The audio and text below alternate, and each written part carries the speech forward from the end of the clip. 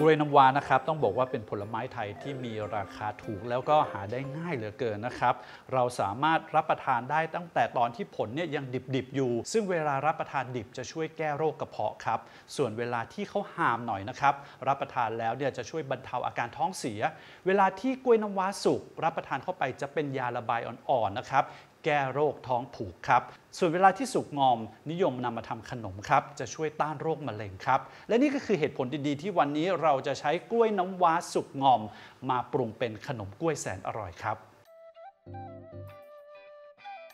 ปลอกกล้วย แล้วก็หั่นกล้วยน้ำว้าเป็นชิ้นเล็ก ๆ ซอยหยาบๆ แล้วก็พักไว้ครับสำหรับกล้วยน้ำว้าสุกงอม 10 ผลนะครับ เมื่อเราแกะออกมาเนี่ยเราจะได้น้ำหนักกล้วยอยู่ที่ประมาณ 600-650 กรัมครับ ใส่แป้งข้าวเจ้าและแป้งมันสำปะหลังลงในชามผสม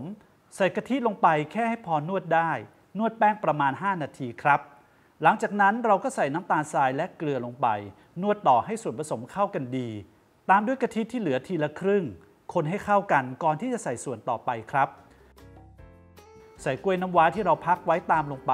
ใช้มือขยำบีบกล้วยให้พอแหลกดีครับ ตัวเนื้อกล้วยเนี่ยนะครับผมจะไม่ขยำหรือบดจนละเอียดนะครับ เพราะว่าเราจะต้องการเนื้อสัมผัสของชิ้นกล้วย ในตัวเนื้อขนมของเราด้วยครับ ตักส่วนผสมใส่ลงในกระทงใบตอง แล้วก็โรยด้วยมะพร้าวถึนทึกขูด ยกขึ้นตั้งบนลังถึงที่น้ำเดือดพล่าน ลดไฟลงเป็นไฟกลาง นึ่งเป็นเวลา 20 นาทีจนสุกดีครับ ถ้าเราไม่มีกระทงใบตองนะครับ เราสามารถใช้ถ้วยตะไลหรือใช้ภาชนะที่ทนความร้อนชนิดอื่นก็ได้นะครับ แต่ประโยชน์ของการใช้กระทงใบตอง จะทำให้ความหอมของใบตองเนี่ยติดมากับตัวขนมของเราด้วยครับ